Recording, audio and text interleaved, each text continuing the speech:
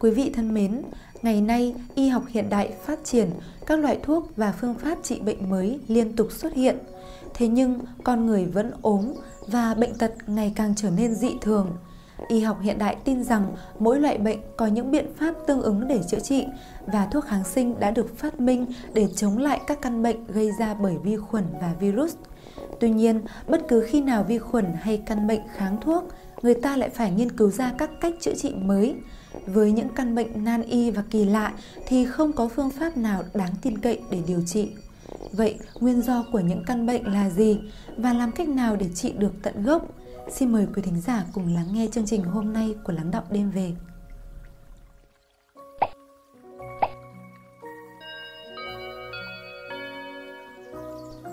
Nghiệp lực đời trước, bệnh tật kiếp này Trong cuốn sách Những ngôi nhà, chuyện kể của Edgar Cayce về sự luân hồi, bác sĩ Gina Serminara đã liệt kê những ví dụ điều trị bệnh nhân bằng cách đọc những đời trước của họ do nhà tiên tri nổi tiếng người Mỹ Edgar Cayce thực hiện.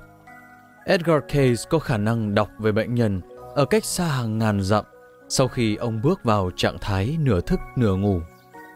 Trong số những trường hợp mà Edgar Cayce đọc, có một số người được lần ngược trở về thời đế quốc La Mã cổ đại. Một số bệnh nhân đã tham gia trực tiếp hoặc gián tiếp vào việc đàn áp những người theo đạo cơ đốc. Một trong số đó là một phụ nữ 45 tuổi. Bà bị tàn phế vì bệnh bại liệt ở tuổi 36 và phải dùng xe lăn để đi lại. Sau khi thử nhiều cách điều trị không thành công, bà gặp Case và đề nghị ông đọc về những đời trước của mình. Vào giữa những năm 37 và 68 sau công nguyên, bà là một thành viên của triều đình khi hoàng đế Nero đàn áp cơ đốc giáo. Bà không chỉ không thông cảm với những người theo đạo cơ đốc bị cắt xẻo thịt trong đại hí trường, mà còn nhạo báng họ. Cái giá bà phải trả cho hành vi nhạo báng lạnh lùng của mình là bị tàn phế trong đời này. Một bệnh nhân khác là một cô gái. Trong đời trước, cô là một quý tộc vào thời kỳ cai trị của Nero và cô đã thích thú khi xem những người theo đạo cơ đốc bị tra tấn trong đại hí trường. Cô thậm chí còn cười lớn khi thấy một thân thể cô bé bị sư tử xé tan. Đời này, cô mắc bệnh lao. Một trường hợp khác là một nhà sản xuất phim bị bại liệt từ năm 17 tuổi. Ông phải đi khập khiễng. Trong khi đọc những đời trước của ông, Case thấy rằng vào thời kỳ đó, ông ta là một người lính và được lệnh phải đàn áp các tín đồ cơ đốc giáo. Tội của ông không phải là tuân lệnh với tư cách là một người lính, mà là do chế nhạo những người kiên định vào tín ngưỡng của mình. Việc bị tàn phế trong đời này là để cảnh tỉnh ông. Việc đọc đời trước đã chỉ ra nguyên nhân thực sự của những nỗi đau khổ của các bệnh nhân. Hai trường hợp đầu dù không trực tiếp tham gia bức hại nhưng đã không ủng hộ chính nghĩa nên họ phải trả giá cho sự ngu dốt và lạnh lùng của mình trong đời trước. Còn những người đã trực tiếp tham gia vào việc đàn áp thì phải chịu đựng đau khổ từ khi còn rất trẻ. Nghiệp báo không bao giờ chệch dù chỉ là một sợi tóc. Tu tâm trọng đức giúp trị bệnh kinh niên. Trong cuốn sách Many Mansions có câu chuyện về việc Edgar Case trị bệnh như sau. Một kỹ sư điện mắc chứng đa sơ cứng và không thể làm việc trong vòng 3 năm. Ông bị mù và sẽ ngã xuống nếu cố gắng đi lại. Ông đã đi nhiều bệnh viện, ở đâu cũng trả lời rằng căn bệnh của ông không thể chữa được. Gần như vô vọng, ông tìm đến Edgar Case để tìm hiểu về tiền kiếp của mình. Case đã đọc tiền kiếp của ông và nói rằng nghiệp lực gây ra trong kiếp trước đã khiến ông phải chịu căn bệnh này. Người đàn ông đã hỏi Case làm sao có thể chữa bệnh. Case nói rằng ông phải loại bỏ tình cảm oán hận và đau khổ, đồng thời cho ông một chỉ dẫn chi tiết để làm theo.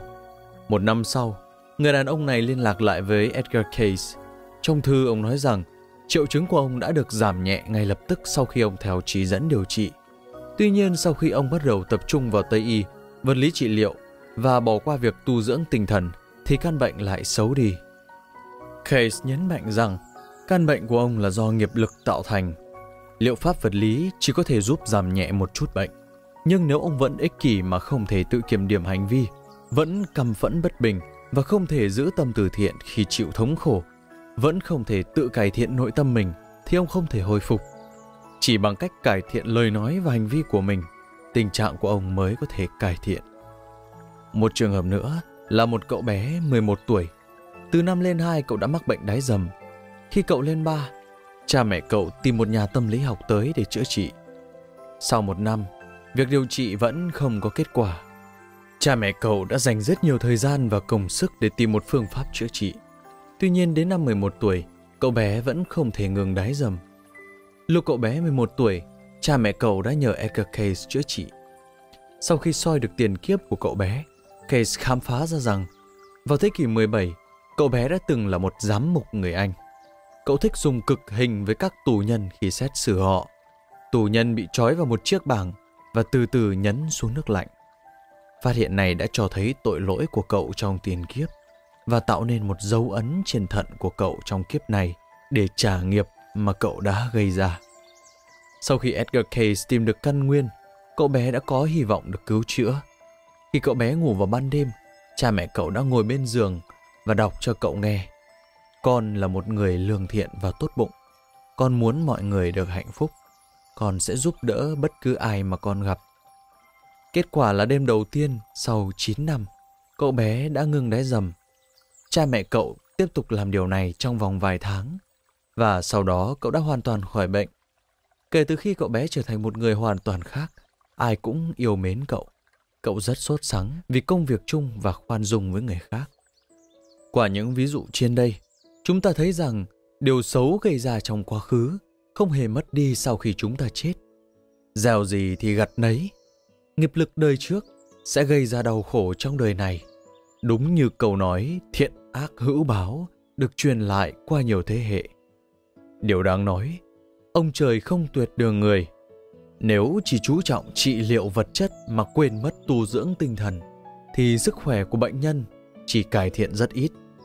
Nhưng khi họ chú trọng hành vi, tu dưỡng tinh thần, giữ tâm nhân từ, khiêm tốn vô tư, thì bệnh tình sẽ chuyển biến. Để thấy rằng tu tâm trọng đức có thể tiêu nghiệp và lập tức loại trừ bệnh tật, lời dạy của cổ nhân về tu nhân tích đức quả là trí lý. Cảm ơn quý thính giả đã ghé thăm Lắng Động Đêm Về được phát sóng vào 20 giờ tối thứ 3, 5 và 7. Quý thính giả thân mến, với nỗ lực truyền tải những nội dung văn hóa truyền thống được lưu truyền từ ngàn năm, đề cao các giá trị đạo lý nhân sinh, tín ngưỡng đối với thần Phật, Lắng Động Đêm Về hy vọng quý thính giả có những phút giây chiêm nghiệm sâu lắng sau mỗi ngày làm việc bận rộn. Đừng quên chia sẻ cảm nhận của quý vị ở bên dưới để giúp chúng tôi thực hiện chương trình tốt hơn. Mến chúc quý vị một buổi tối bình an và ngon giấc.